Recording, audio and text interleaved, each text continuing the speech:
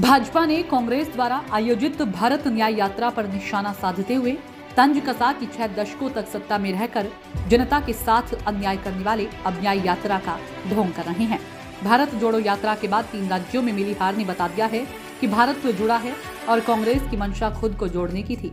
Party मुख्यालय में media के सवालों का जवाब देते हुए भाजपा विधायक विनोद चमोली ने कहा कि जिन्होंने पहले भारत जोड़ो यात्रा निकाली, उसका परिणाम यह हुआ है कि तीन राज्यों में उनकी सरकारों को जनता ने उखाड़ दिया, क्योंकि यात्रा के दौरान देश ने बाखूबी देखा कि देश तोड़ने की साजिशों में लिप्त संस्थाओं राष्ट्र विरोधी सोच को आगे बढ़ाने वाले एक्टिविस्ट और धारा 370 के समर्थन से कश्मीर को देश से तोड़ने की सोच रखने वाले नेता भारत जोड़ने के झूठे नारे दे रहे थे। यही वजह है कि जनता ने तीन राज्यों के चुनाव परिणाम में बता दिया है कि प्रधानमंत्री मोदी के नेतृत्व में एकजुट भारत विकसित देश बनने की यात्रा पर अग्रसर है। लिहाजा यदि कांग्रेस को कुछ जोड़ना ही है तो अपनी पार्टी को राष्ट्रीय भावना से जोड़ने की ज़रूरत है। कांग्रेस लगभग 60 वर्षों तक जनता के साथ अन्याय किया है। इनकी सरकारों ने अपने भ्रष्टाचार को शिष्टाचार बनाकर देश के विकास को अवरुद्ध किया।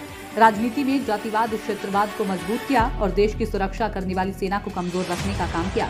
यही पार्टी है जिसकी सरकार ने आपातकाल लगाकर जनता के मौलिक अधिकारों को छीनकर उनकी स्वतंत्रता के साथ सबसे बड़ा अन्याय किया। उन्होंने कटाक्ष कर कहा कि ये न्याय यात्रा भारत के लिए नहीं बल्कि कांग्रेस के साथ न्याय करने की यात्रा है।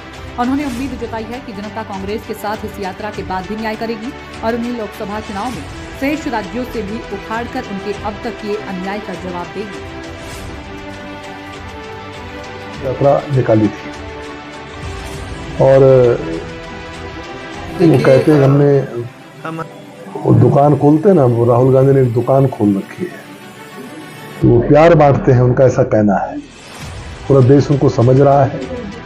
ये दुकानें सिर्फ़ राजनीतिक दुकान है और अपने अस्तित्व को बचाने की दुकान है। आज ये यात्रा निकाली जा रही है। पिछली यात्रा के परिणाम उन्होंने देख लिया। आज तीन राज्यों में भारतीय जनता पार्टी की प्रचंड बहुमत की सरकार बनी है।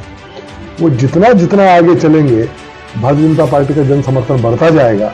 मैं तो कहता हूँ उनको उत्तराखंड में जाना चाहिए, ताकि उत्तराखंड में भी भारतीय जनता पार्टी को एक तरफा जीत मिले और जिस ओर हम आगे बढ़ रहे हैं।